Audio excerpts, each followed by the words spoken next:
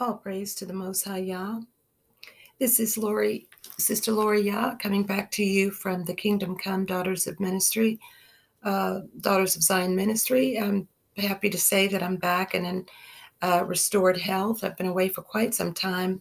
Um, I really missed you, family, and but I did want to let you know that uh, I my goal is to upload um, videos uh, at least every Sabbath.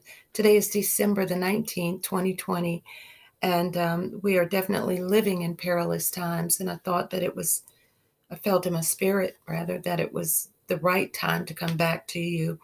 Um, and I wanted to say first that we have a credo here, uh, and it's Hear, O Israel, the Lord our God is one. Um, so I was praying this morning, uh, asking the Lord to just reveal to me when and if He wants me to speak again.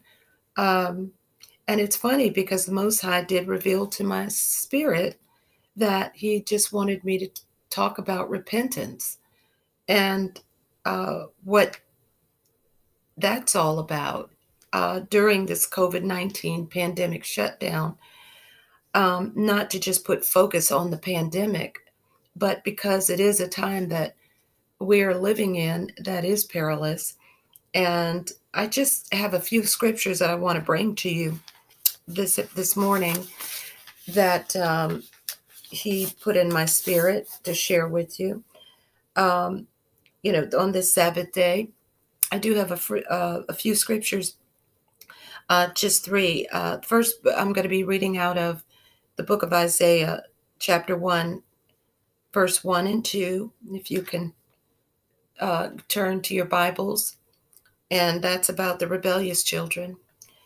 The next scripture is Isaiah 59, 15 through 21. And that's about the Most High repaying our enemies, uh, recompensing back on their heads what they've done to us. And the last scripture, well, there's a, four scriptures actually. Ezekiel is the next one, 36, verse 22 through 29. It talks about uncleanliness. And then on a side note, uh, I have a scripture, Colossians chapter 2, verse 8 through 9. Um, and I just wanted to kind of go through these scriptures just to help those that, even if you're brand new, to my channel, um, Kingdom Come, the Daughters of Zion channel. It doesn't matter whether you're a Jew, whether you're a Gentile, or whether you're don't you don't have any proclamation to any religion or any kind of sect or camp or uh, you could be Buddhist, you could be uh, Muslim. It does not matter. This message is for you because we here what we do is we preach truth. And in our Bible, we believe, because we read from the King James Bible, that if you know the truth, the truth will set you free. And my prayer is that it will just reside in your spirit and manifest one day, hopefully. Maybe some will get it, maybe some won't. I don't know, but it's not my job. It's just my job to spread the gospel, the good news of the kingdom to come. And so, with that says, the kingdom to come has conditions. And that's why I believe the Most High gave me the spirit of repentance this morning to be the common thread throughout every video that I do. It's all about repentance. So let's just get to it. So, in our first uh, uh, the first scripture it, we're going to be coming from uh, the book of Isaiah, chapter 1, verse 1 and 2. And I'm going to read to you as best I can. I have to take my glasses off because I just can only see with one eye, but uh, God has gave me two eyes. So, all right, so follow along with me, saints. And this is the vision of Isaiah, son of Amos, which he saw concerning Judah and Jerusalem in the days of Uzziah, Jotham, Ahaz, and Hezekiah, king of Judah. And uh, it's about the wickedness of Judah. our forefathers, those of us that are con- consider ourselves to be Hebrews in our spirit, this is concerning your history. And it says, Hear, O heavens, give ear, O earth, for the Lord has spoken. I have nourished and brought you up children, and they that rebel against me. Okay? So uh he's talking to the rebellious children in the beginning of this chapter of Isaiah, of the book of Isaiah. And he's not happy, okay? Uh, because he says, I have nourished and brought up children that they have rebelled against me. So I'm going to stop right there because I just wanted to make a point. When you rebel against someone, anyone, that means you're against, um, not for that person, thing, entity, whatever it is. It means you have turned your back. So he's mad. He's mad. And you know, with when you make a decision, then consequences follow.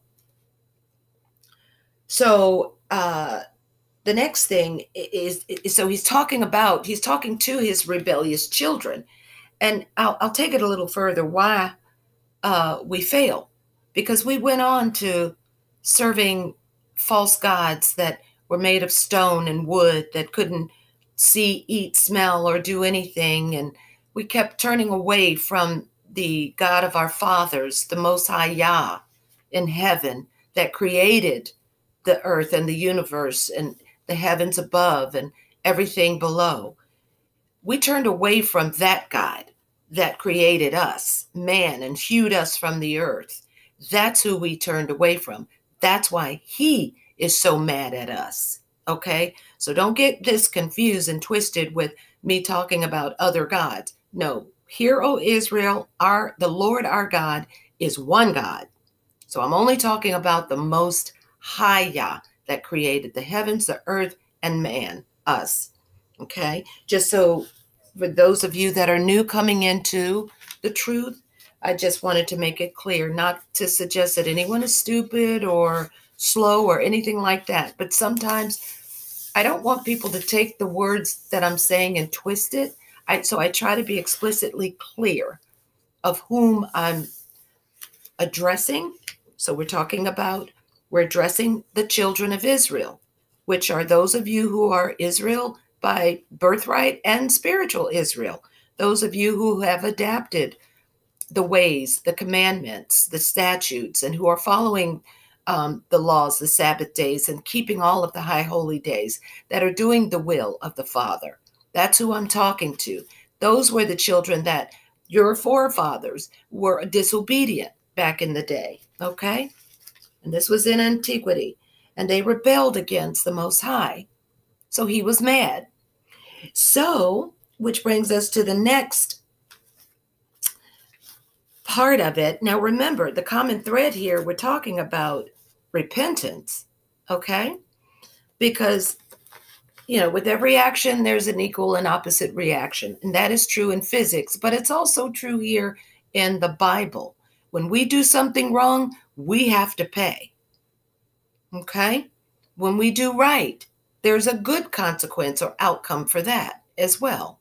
So the law of physics does make sense to this, um, what I'm talking about here.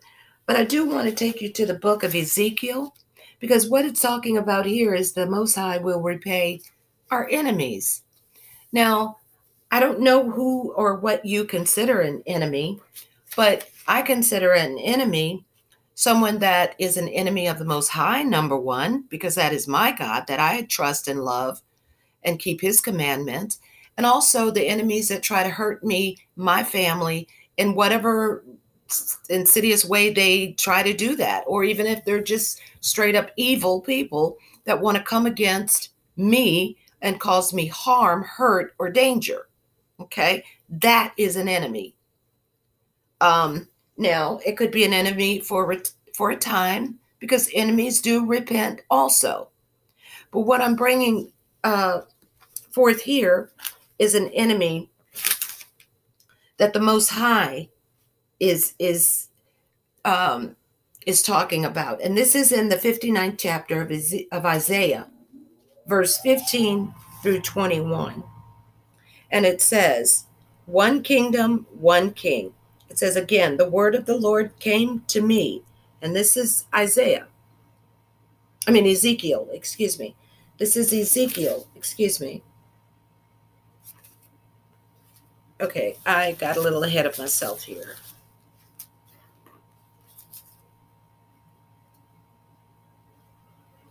All right, I'm sorry. Let's back it up. Uh, let's go to Isaiah 59 and 15 through 21. Salakia. All right, so Isaiah chapter 15. And we're going to read all the way through chapter 21. Okay, so it says, Now this is the Redeemer of Zion. The Redeemer of Zion is the Holy One, the Most High Yah. It says, Then the Lord saw it, and it displeased him, and there was no justice. And then he saw there was no man, and wondered that there was no intercessor. Therefore, his own arm brought salvation for him and his own righteousness sustained him, for he put on righteousness as a breastplate, a helmet of salvation on his head. He put on his garments of vengeance for clothing, and was clad with zeal as a cloak, according to their deeds. Accordingly, he will repay fury to his adversaries, recompense his own enemies. Okay? And it says the coastlands he will fully repay. So shall they fear, okay, the name of the Lord from the west and his glory from the rising of the sun when the enemy comes in like a flood. The Spirit of the Lord will lift up a standard against him. Now, some could say that, you know, this is talking about uh, the end times. But if you read or have read the Bible and know something about the history of the Hebrews, the Lord has always stood up for his people and fought for his people as long as they were obedient. And it goes on to chapter 20 to say the Redeemer of Zion will come, to, the Redeemer will come to Zion and to those who turn from transgression in Jacob, says the Lord. Let me read chapter 20 again. It says, The Redeemer will come to Zion and to those who turn from transgression in Jacob, says the Lord. Amen. Who is Jacob? Jacob was the son of Isaac. Okay. He was the progenitor of the 12 tribes of Israel. So he's talking here about the transgressions of Israel. Sometimes the word can be a little tricky. We uh, understand Jacob to be a person, but Jacob is here referenced as his children. He's talking about a nation. Okay? Jacob's children the 12 tribes of Israel that transgressed. And so that's why I specifically uh, like that verse because it does, you know, mention the entire assembly of God's people, of the apple of his eye. Okay? And now, uh, not to make this too long, but then I want to go to Ezekiel 36 22 through 29. Okay. All right. Now,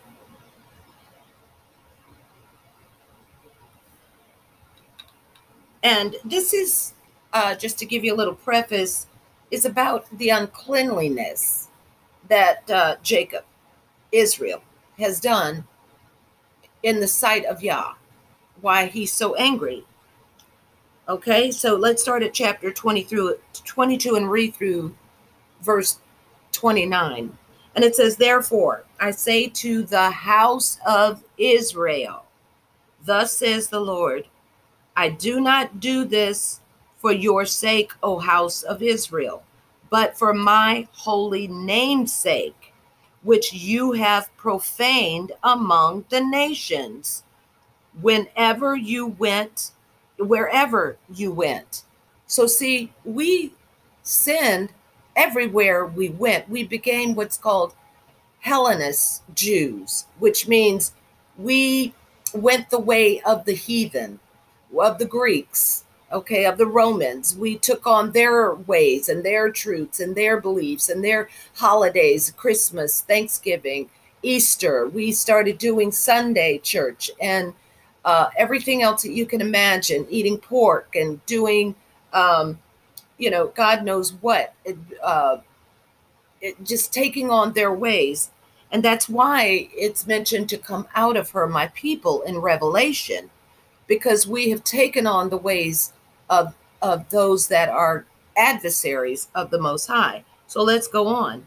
So it says, I'm going to read that again. It says, Therefore, say to the house of Israel, uh, Thus says the Lord, I do not do this for your sake, O house of Israel, but for my holy name's sake, which you have profaned among the nations wherever you went.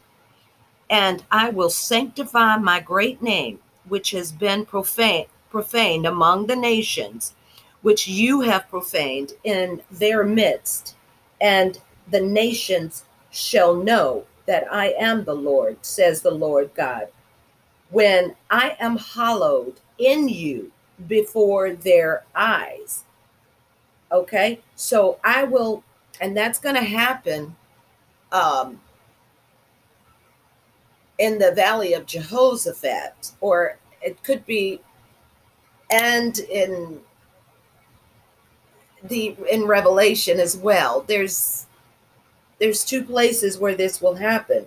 It says, "For I will take you from all from among all the nations where I gathered you, and from all the countries, and bring you into your own land. Then I will sprinkle clean water on you, and you shall be clean, and I will cleanse you from all of your filthiness and from all of your idols." and will give you a new heart and put a new spirit within you. I will take the heart of stone out of your flesh and will give you a heart of flesh. And I will put my spirit within you and cause you to walk in my statutes, and you will keep my judgments and do them. Then you shall dwell in the land that I gave your forefathers and you shall be my people, and I will be your God, and I will deliver you from all of your uncleanliness. And I'm going to stop there because this is really talking about the end times when the New Jerusalem, I'm sorry, I was thinking about the Valley of Jehoshaphat because that's where he wakes up the dry bones and he calls Israel up out of their graves. See, and puts her sinews back together and they become alive again. But that metaphorically is talking about us waking up also. So that's putting a new spirit in us too, his spirit in us at that juncture as well uh, in history. But this is definitely talking about uh, in the end, he's going to put a new heart of flesh in us. And the statutes and commandments we will follow. We won't have a choice.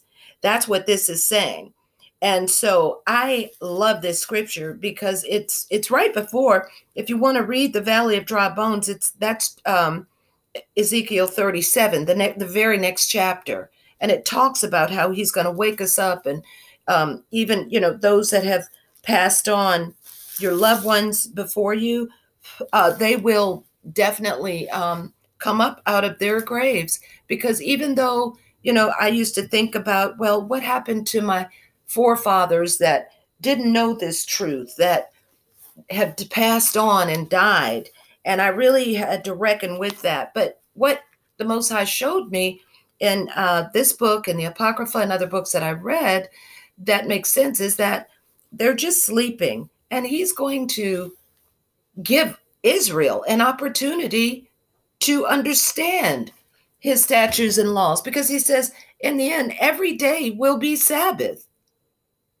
You know, and I will cause you to to ride high on the winds and oh my god it's just beautiful the way he describes when he wakes us up and how we're going to be in the in in that time. I don't want to get into that because that's a whole different um theme.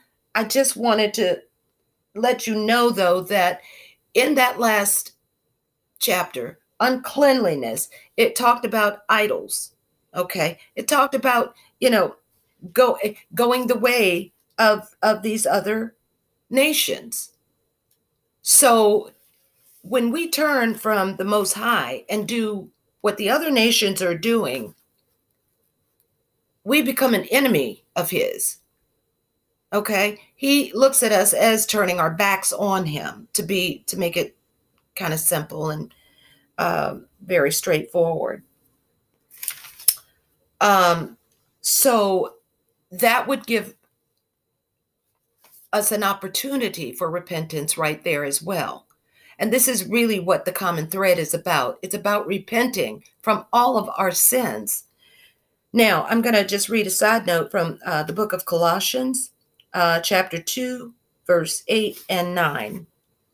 All right. So, when we, um, now this is Paul the Apostle of Yahushua, um, by the will of the Most High, and Timothy, uh, the, he calls him their brother. Um, let me read here. Okay, make sure I have the. Okay, so we're talking about chapter two. Um, okay, chapter two, verse eight and nine. Now, uh, it says, Beware lest anyone cheat you through philosophy and empty deceit according to the traditions of men, according to the basic principles of the world, and not according to Christ.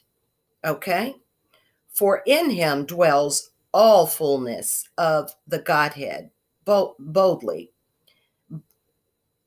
bodily, I'm sorry, and you are complete in him, who is the head of all principality and power. So, what that's saying, it's talking about we don't go according to the traditions of men and do as men do and follow their idols and their uh, philosophies. And whenever they add to this word and make up stuff and add to it that's not in this word, there's a problem. Okay? It, it, we're taking on the traditions of men when we do that. So we have to be careful who we follow and how we follow this word. That's why it says, get thine understanding and get and get wisdom and understanding in the book of Psalms, Proverbs rather, and get thine own understanding. Let the spirit of the most high guide you. Okay? Uh, and and and so that you can know the truth and the truth will set you free okay? All right and so my final point here uh really is that it's it's a rhetorical question we all have to ask ourselves all the time because we sin we fall short of the glory of the most high. Yes we do but we don't want to continue doing things that are going to always cause us to have to repent so I would ask you, you know, do you have your house in order? Meaning, you know, are you really um, sincere about, you know, be coming into full repentance with the Most High? sincerely praying to Him, asking Him for forgiveness for everything in life that went against what He um, what He had set for us. Because in the commandments, there's 360 some hundred uh, commandments and that is a lot to carry but we do our best. But the thing that i do know that i can share with you to give you some comfort is that god knows our hearts.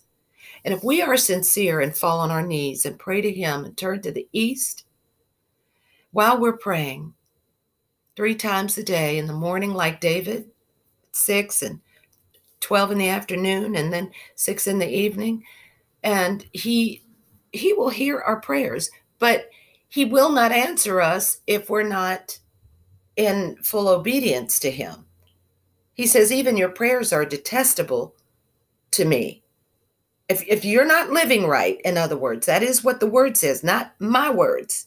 That's what the word says. He will not hear your prayers. So sometimes our prayers aren't going to be answered because if we're not living and I have to say as in as righteous as we can because Yahushai, whom we call him, the world ignorantly calls him Jesus Christ. Yahushai is a full fullness of righteousness. He is the only righteous one because he is holy. We can never come close to that. But thank God for him. Thank God for for for Yah, his father that gave us the son so that we can go to him to intercede for us. Okay? And and and just, you know, take our prayers to him and ask in his name to be forgiven okay, here on earth and in heaven, then we will be forgiven, provided that we are so sincere, you know, and we come to Him as humble as we know how. And so that is the message today, and it will be the common thread throughout. So the next Sabbath, we'll talk about other uh, parts of the Bible that talk about repentance and why it's so important and um, I think the Most High for giving me that spirit of um, of a message to bring to you today. I just hope it's been edifying to the saints. Um, I pray that you um, get a lot of uh, information from this video and just study the scriptures on your own.